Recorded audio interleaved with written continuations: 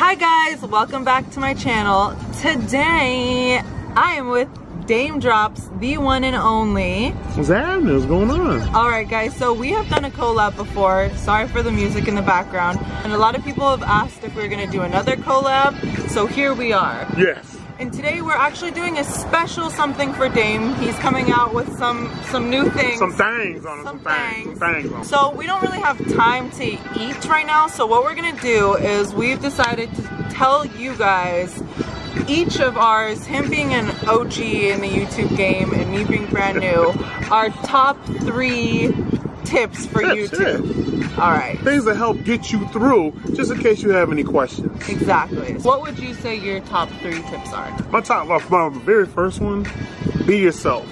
It's it's unfortunate how many creators I see that like to either chase the wave that they think is going to take them to the top, or concern themselves so much what's going on with somebody else's channel.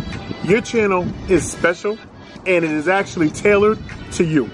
Folks are going to come for you. Don't change who you are for somebody else, and definitely not for this platform. So be yourself. That's my number one. Yeah, honestly, like, I would have to say that that is definitely in my top three also because you see a lot of people come out and they'll totally be themselves and you kind of fall in love with them mm-hmm. as a creator, as watching videos when you get up in the morning, when you go to sleep at night, you get attached to people. And then there are some people who change. Right. And guess what?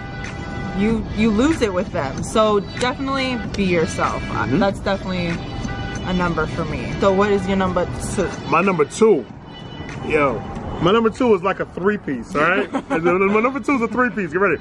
So you have your dedication, your determination, and your consistency. All right, that's my little three piece when it comes to the number two. Your dedication, that's you waking up every single day and you're like, you know what? This is what I want out of life. This is what I love to do. This is my passion. This is what I'm going to provide for myself. Don't worry so much about doing it for somebody else. You want to make sure that you're doing it for yourself and that you still love to do it. I told myself when I no longer love what it is that I do, I'm walking away from this platform. That's such a good piece of advice in mm. life, Yeah. though, too. Like, if you don't like what you're doing, walk away. Walk away. Yep. Walk away, and it's okay. You didn't fail if you walk away. You're not. You're not hurting anybody if you walk away. You're doing it for a peace of mind. So make sure you love what you do. That is that dedication, that determination. That's what's gonna push you through the day to put out the very best content you could possibly put out there. Don't worry about uploading every single day of the week, but you want to make sure that you're putting out quality and you want to put out some type even educational videos at that. Yeah. So somebody is taking something from what you're putting on this platform. If you could even help one person per video, you've done everything that you need to do. and that's one person outside of yourself. It's true. It's true.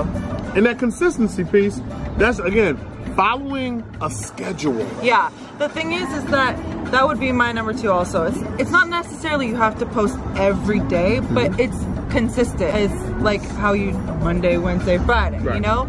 We all kind of remembered Monday, Wednesday, Friday. Oh, You know what I'm saying? So that's what you, you definitely have to have that consistency. And if you can't make it every day, if you're Monday, Wednesday, Friday, at least try to make Monday, Friday. You know what I Right, mean? Like right. try to at least keep a little bit of your word as far as posting once or twice a week. you don't, you don't have to upload every single day.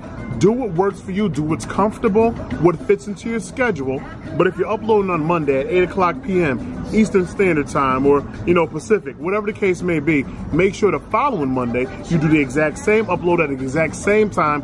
Get within YouTube's algorithm so it's becoming familiar with your uploading schedule. So then, therefore, it's going to actually promote your videos and push them through, come in as a notification for the individuals that are subscribed to your channel. Yeah, and and don't look at other people's videos that are getting posted at the same time as yours and going, why isn't my video getting as many numbers as mm-hmm. them?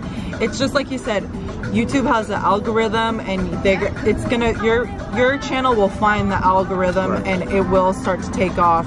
It's so weird because we would even post at the same time and get different numbers and then post at different times and get more of similar numbers. So it all just depends on your channel.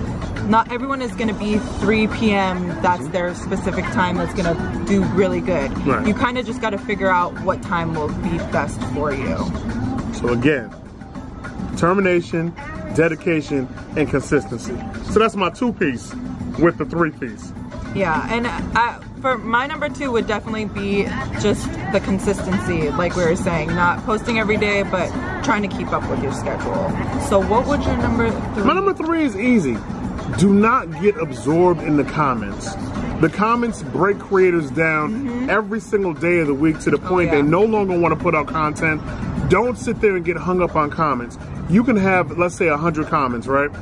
And you can read all 100 comments and 98 of them are positive. Those two that were negative are gonna be the two that are gonna make you walk away from what you love to do. Because, I mean, we're imperfect. We automatically attach ourselves to what we find as fault.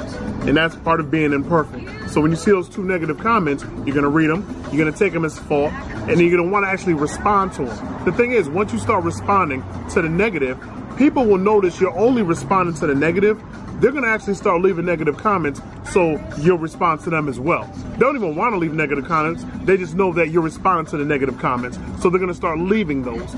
Don't put that bait out there. Don't set yourself up for that type of failure. Don't worry about your comments in that manner.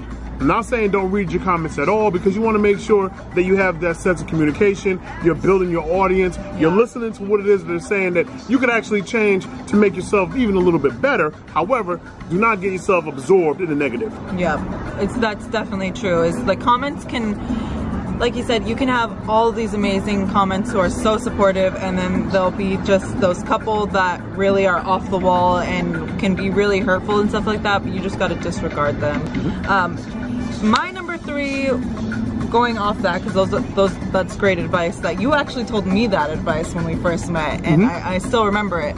But my number three would definitely be to try to interact and leave comments on other YouTubers videos to show that you genuinely are getting involved in the community. Other YouTuber subscribers will see that you actually do watch YouTube other YouTubers videos and think it's genuine and, and actually I've gotten subscribers just because they've seen me comment on other YouTubers channels and saying, oh, I like this video. And they said, oh, I came here just because I saw you commented. So get involved with the community and other people who are in, um, how would you say, like your category, but even outside of your category, you know, mix it up a little bit. Daym does stuff where it's all about food and then you've been doing like car stuff lately. Yeah. So just getting out there and talking to as much people on like the platform that you can really does help you and collabing. I mean, that's great advice. He, he told me is do as many collabs as you can to get your name out there. You just don't be afraid of your own voice. You all have a voice. You got to put your voice out. You have to find your voice on this platform, but do not be afraid of your voice. Work with other individuals. They don't have to have the largest channel in the world. They can have the numbers similar to yours, numbers less than yours. It's like having a regular job, right? And you're training somebody. The person you're training may be your boss one day. So individuals that you actually do collaborations with that have less subscribers than you do, they may blow up one day, but they're gonna remember you. Mm -hmm. They're gonna remember you because you're the one that gave them a chance when they didn't have as many subscribers. Yep. You know what I'm saying? And they're gonna be like, you know what? Come aboard, get up on this wave, let me rock with you because you were a real friend to me from the very beginning. It's so true. those are the type of the relationships that you want to build. And that's also why you gotta be you and continue to to stay you is because you want those people to remember the true you mm -hmm. and not to be this person that you changed into. Boom. So those are our top three advice for uh, YouTube for the OG and the new one. It's kind of similar though. They're kind of still the advice is still the same. It's mm still you got to do the work and be a good person basically. That's about it. All right guys, thank you so much for being here. Um, if you guys don't know who Daym's Drops is, which I highly doubt. You probably that. don't. I'm, I'm, I'm, little, you know uh, what I'm saying? I'm little. Don't worry about me, you know? I'm gonna leave his information in the description box below, so make sure you go over to his channel, check him out. He has lots of good food stuff. I know everyone who is here wants to see a lot of good food stuff. He has lots of food reviews, so if you wanna know like about the new hot trends coming out, he's got a video on it. He's oh. gonna let you know if you should go spend that money or not. Alright guys, thanks so much for being here. And until next time, we will see you later. Bye!